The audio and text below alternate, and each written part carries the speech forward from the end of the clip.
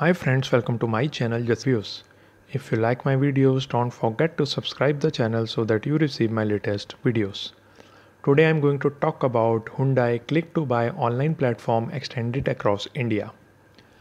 With the increase in online buying, Hyundai has introduced a click to buy platform for purchasing a Hyundai car through the web.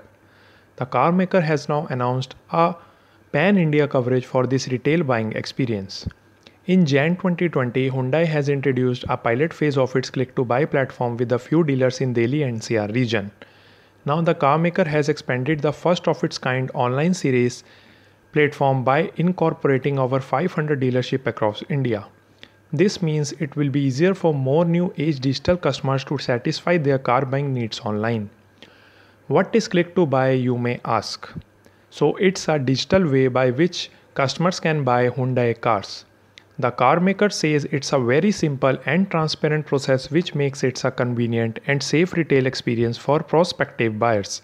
It's connected to all its authorized dealerships in India and customer queries can be addressed by them in a real time. Interestingly, all Hyundai cars including the new Creta and the Verna can also be bought through the platform. It's a good initiative from the car maker that makes car buying easy for their tech savvy customers. Not only that, this pan India integration of dealerships will also act as an additional sales channel for dealers across the country. This was much required with the retail sales witnessing a paradigm shift with consumers getting inclined towards online purchase of the products. Customers can get all the required information through Hyundai website. Thanks for watching my video and don't forget to subscribe the channel.